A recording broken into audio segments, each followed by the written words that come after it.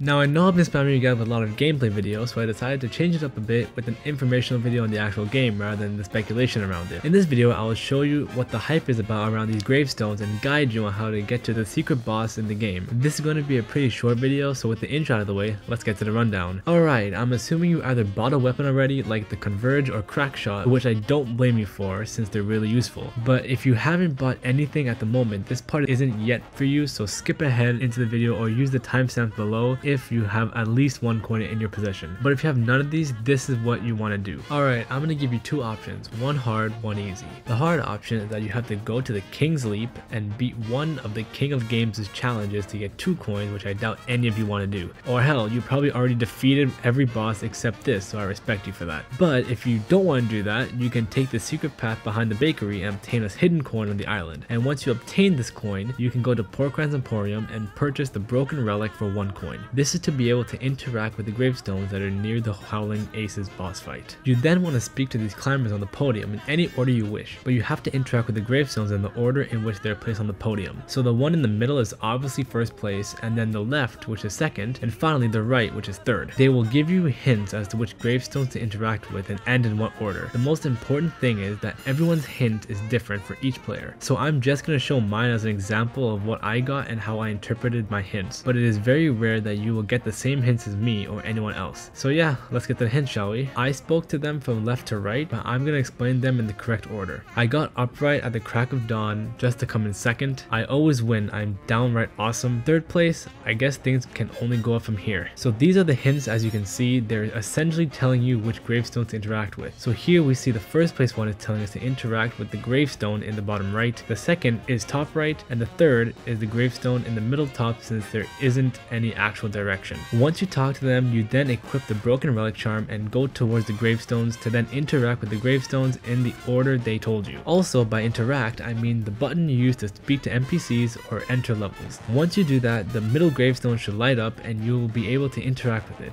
Then an animation will play out and it will take you straight to the boss fight. But once you beat this boss fight, your broken relic will turn into a curse relic, which will fix your HP in boss fights to 1 HP and will change your weapon randomly every few seconds. This is just an extra challenge for all of you who thought it was too easy and the DLC couldn't get any harder. Well, we've now reached the end of the video. I hope you all enjoyed this video and I hope you all have been enjoying the DLC like I have, so check out some of my videos on it. I've already gone through every one of the main bosses in the game and I'll be uploading more soon. And at the end of every video, don't forget to like and subscribe for more content like this and more videos like this. And at the end of every video, don't forget to like and subscribe for more videos like these. I hope you all have a fantastic rest of your day. Stay safe, stay healthy, and I'll see you all next time.